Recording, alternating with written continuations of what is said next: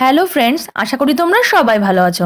আজকের ভিডিওটা মাধ্যমিক পাশ থেকে শুরু করে ইউনিভার্সিটি স্টুডেন্ট সবার জন্য গুরুত্বপূর্ণ। কারণ আজকের ভিডিওতে আমি মেধাবীর নতুন একটা স্কলারশিপ নিউজেন সম্পর্কে বলব। এই স্কলারশিপটি অ্যাপ্লাই করার জন্য তোমার কী কী এলিজিবিলিটি ক্রাইটেরিয়া লাগবে, কীভাবে অ্যাপ্লাই করবে, কী কী ডকুমেন্ট সাবমিট করতে হবে এবং স্কলারশিপটি পাওয়ার জন্য পরীক্ষা পদ্ধতি কী, পুরোটাই কিন্তু ডিটেলসে আজকের ভিডিওতে বলব। তো পুরোটা বিস্তারিতভাবে জানতে গেলে প্রথম থেকে শেষ পর্যন্ত দেখো। Welcome to chemistry family YouTube channel এই চ্যানেলে আমরা রসায়নের বিভিন্ন টপিক নিয়ে ডিটেলসে আলোচনা করব।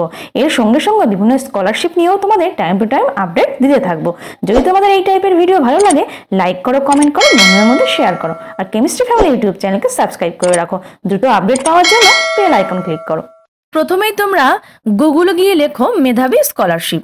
এটা লিখে সার্চ করলেই দেখো প্রথম যে অপশানটা আসছে, মেধাবী স্কলারশিপ স্কিম, অথবা তোমরা directly W dot Medhabi online dot ORG লিখেও সার্চ করতে পারো। তো প্রথম অপশানটা তোমরা ক্লিক করো।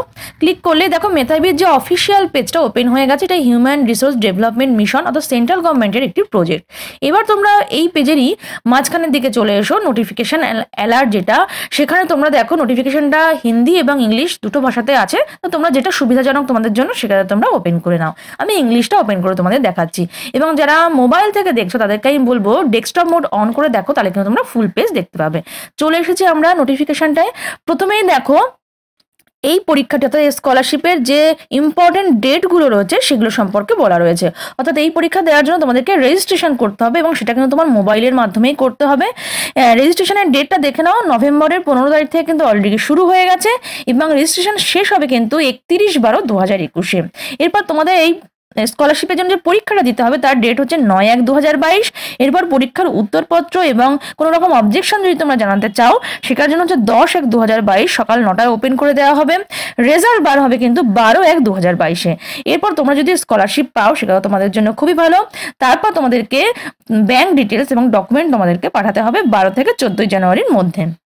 এরপর ভেরিফিকেশন হয়ে তোমাদের স্কলারশিপ ডিস্ট্রিবিউশন এবং রিফান্ড এগুলো হবে হচ্ছে পনেরো থেকে ষোলোই জানুয়ারির মধ্যে। পুরো প্রসেসটা কিন্তু শেষ হয়ে যাবে কুড়ি এক দু হাজার বাইশের মধ্যে।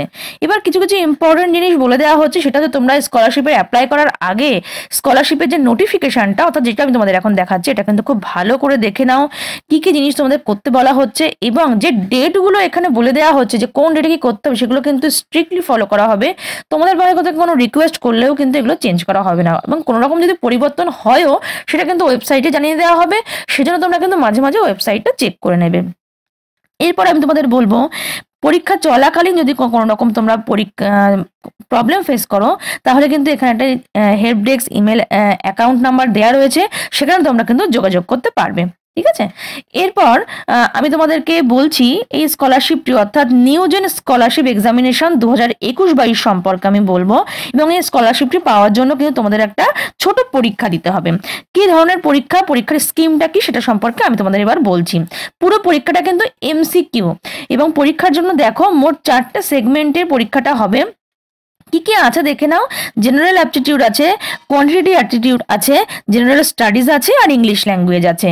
কতগুলো করে কোশ্চেন দেখো, সেটা ভাগও দেওয়া রয়েছে। টোটাল চল্লিশটা কোশ্চেন থাকবে বিভিন্ন ভাগে, এগারো এগারো, নয় নয় ভাগে।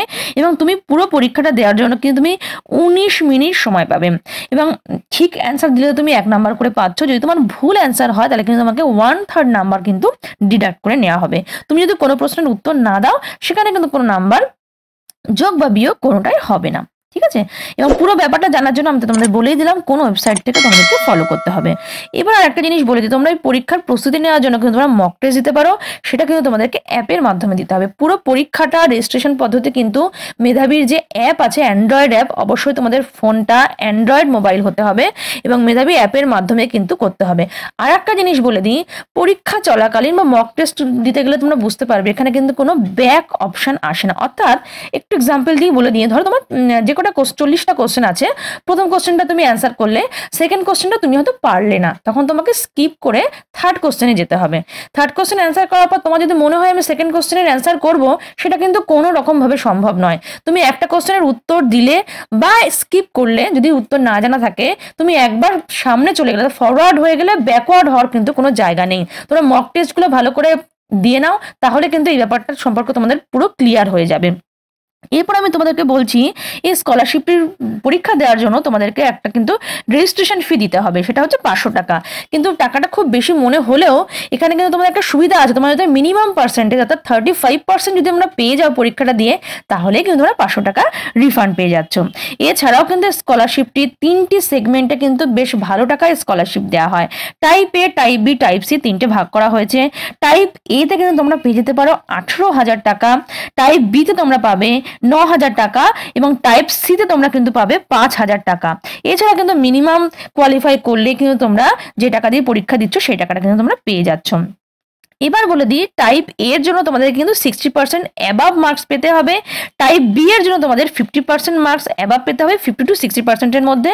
আর টাইপ সি এর জন্য তোমাদেরকে ফর্টি পার্সেন্ট অ্যাবাভ এবং ফিফটি পার্সেন্টের মধ্যে পেলে কিন্তু তোমরা এই আকর্ষণীয় স্কলারশিপটি পেয়ে যাবে। এবার আমি তোমাদেরকে এলিজিবিলিটি ক্রাইটেরিয়া বলছি। এলিজিবিলিটি ক্রাইটেরিয়া তোমাদেরকে ষোলো থেকে চল্লিশ বছর বয়সের মধ্যে বয়স হতে হবে। আর তোমাদেরকে মিনিমাম মাধ্যমিক পাশ হতে হবে। অর্থাৎ মাধ্যমিক পাশ করে তোমরা কেউ যদি বা উচ্চ মাধ্যমিক পাশ করে কেউ যদি এখন পড়াশোনা করছ না এরকম যদি হয় যে চাকরির পরীক্ষার জন্য তোমরা প্রিপারেশন নিচ্ছ, তোমরাও কিন্তু পরীক্ষা দিতে পারবে। এবার তোমাদের সিটিজেনশিপ সম্পর্কে বলে দিই।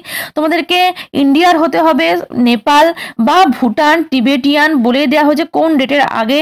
এই এই জেলা এই এই রাজ্য থেকে থাকলেই কিন্তু তোমরা পরীক্ষাটা দিতে পারবে। এবার আমি তোমাদেরকে মিনিমাম এসেন্সিয়াল কোয়ালিফিকেশন যেটা তোমাদের আগেই বললাম মিনিমাম কিন্তু মাধ্যমিক পাস হতে হবে। এছাড়া উচ্চ মাধ্যমিক গ্রাজুয়েশন পোস্ট গ্রাজুয়েশন ডিপ্লোমা এর থেকেও যদি হায়ার এডুকেশন থাকে, তাহলেও কিন্তু তোমরা অ্যাপ্লাই করতে পারছ।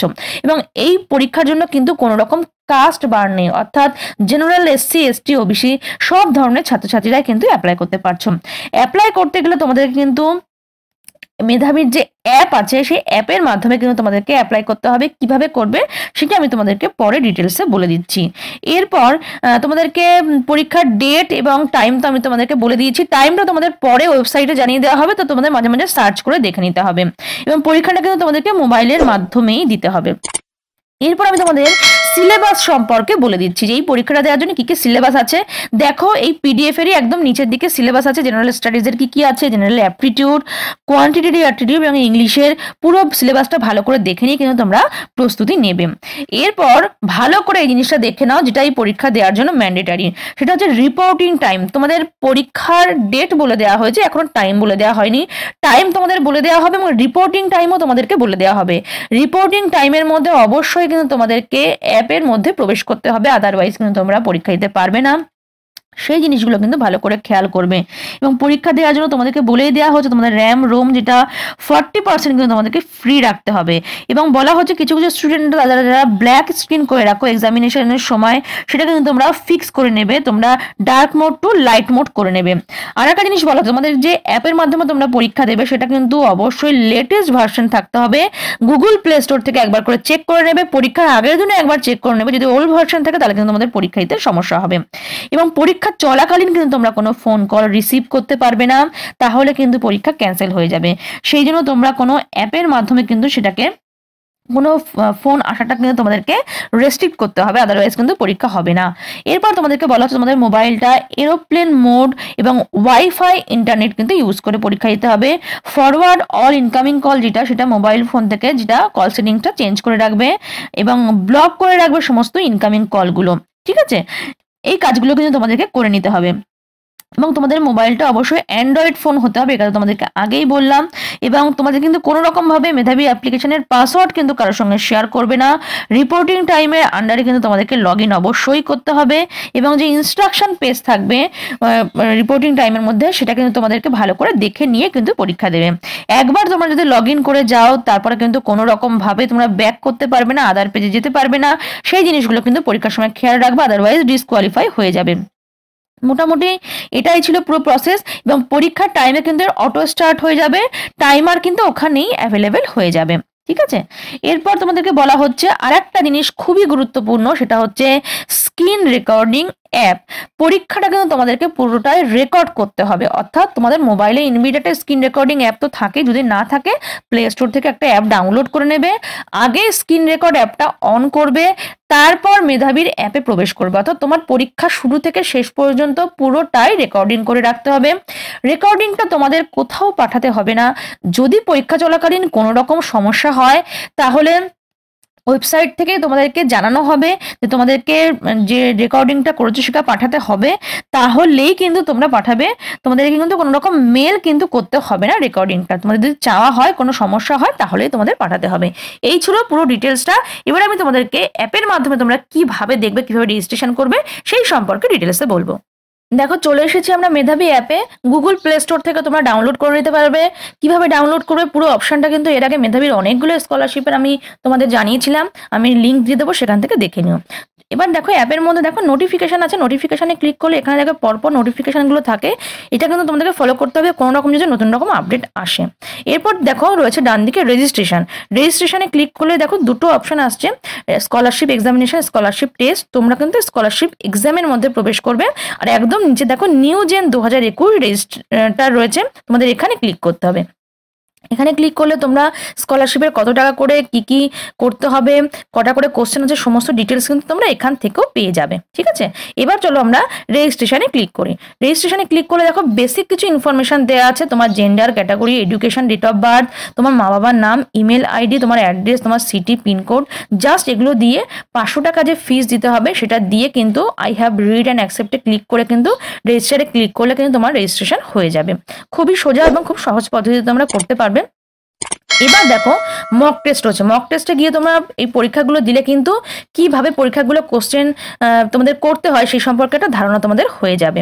এরপর দেখো আচ্ছা অনলাইন টেস্ট তোমরা যখন পরীক্ষাটা দেবে, তোমাদের কিন্তু অনলাইন টেস্টের মধ্যে গিয়েই কিন্তু পরীক্ষাটা দিতে হবে এবং স্কলারশিপ এক্সামে কিন্তু তোমাদের টিক থাকতে হবে। এই হচ্ছে পুরো পরীক্ষা পদ্ধতি। এরপর তোমরা যদি পরীক্ষার পরে স্কলারশিপ পাওয়ার জন্য যোগ্য হও ক্লেম স্কলারশিপে গিয়ে তোমাদেরকে তোমার ব্যাংক ডিটেলস দিতে হবে এবং ট্র্যাক স্ট্যাটাসে গিয়ে কিন্তু তোমরা ট্র্যাক করতে পারবে যে স্কলারশিপটি কোন অবধি এগিয়েছে এবং রেজাল্টের দিন রেজাল্টে ক্লিক করলে কিন্তু তোমরা রেজাল্ট দেখতে পারবে। তো এই ছিল পুরো পদ্ধতি, আশা করি আমি তোমাদের বোঝাতে পারলাম। তো তাড়াতাড়ি অ্যাপ্লাই করে নাও এবং ভালো করে পরীক্ষা দাও। সবার জন্য আমার পক্ষ থেকে শুভকামনা রইল। তো আজকের মতো এখানেই শেষ করছি। দেখা হবে নতুন ভিডিওতে নতুন আপডেট নিয়ে।